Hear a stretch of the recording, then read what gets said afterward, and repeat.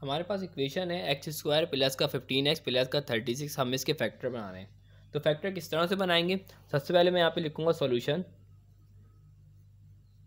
Solution लिखने के बाद मैं यहाँ पे फ़र्स्ट नंबर और सेकंड नंबर सेकंड नंबर क्या है? वन है। वन को अगर मल्टीप्लाई करता हूँ थर्टी सिक्स तो थर्टी सिक्स आ जाएगा, ठीक है?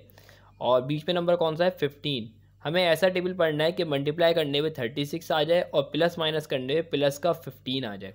अब किस किस के टेबल में थर्टी सिक्स आता है? पहले हमें पता होना चाहिए। सही, अगर मैं टू का टेबल पढ़ता हूँ तो टू के टेबल में थर्टी सिक्स आता है?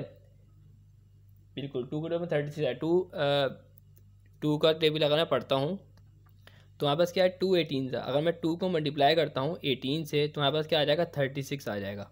थर्टी सिक्स आ रहा है, मगर अगर मैं टू को एटीन में प्लस करूँ, तब भी हमारे पास फिफ्टीन नहीं आ रहा। और टू में से अगर एटीन को माइनस करूँ, तब भी मेरे पास फिफ्टीन नहीं आ रहा है। सही तो मतलब ये तो लगेगा ही नहीं। टू और एटीन तो नहीं लगेगा। अब थ्री का डिल पढ़ते हैं। थ्री के डिल में थर्टी सिक्स आता है, बिल्कुल आता है। थ्री को अगर मैं मल्टीप्लाई करता हूँ किससे?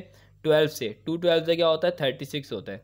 अगर मैं थ्री में ट्वेल्व को प्लस करता हूँ तो फिफ्टीन आ रहा है।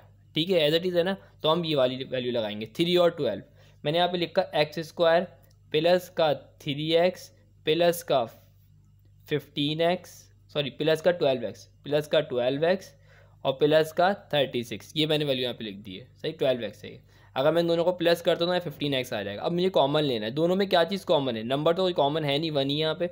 अगर मैं देखूँ यहाँ पे एक्स मेरे पास कॉमन है। अब एक्स अगर मैं इस पर से एक निकाल देता हूँ तो अंदर क्या बचेगा? एक एक्स बच जाएगा। ठीक है प्लस का साइन है प्लस मैं लगा दिया यहाँ पे। उसके बाद क्या है यहाँ पर? थ्री यहाँ बच गया थ्री मैंने यहाँ पे ले एक एक्स यहाँ पे बाहर आ चुका है। ब्रैकेट क्लोज इन दोनों में से मैंने कॉमन लिया प्लस का साइन और ट्वेल्व दोनों में कॉमन था। एक ही टेबल में नंबर आने चाहिए, वही चीज़ मैं इसमें कॉमन लेता हूँ। सही, ट्वेल्व मैंने यहाँ पे कॉमन ले लिया, ठीक है? और यहाँ ब्रैकेट में ओपन किया, उसके बाद मैंने यहाँ पे ट्वेल्व अगर मैं इसमें से कॉमन ले लेता हूँ तो यहाँ पे क्या बच जाएगा? सिर्फ़ और सिर्फ़ एक्स फिर प्लस का साइन लगाया मैंने, ट्वेल्व के में थर्टी सिक्स कब आता है, ट्वेल्व थ्री जो होता है थर्टी सिक्स एक ब्रैकेट मैंने बनाया एक्स प्लस के ट्वेल्व का, और एक ब्रैकेट बनाया मैंने एक्स प्लस के थ्री का। ये हो गया हमारे पास आंसर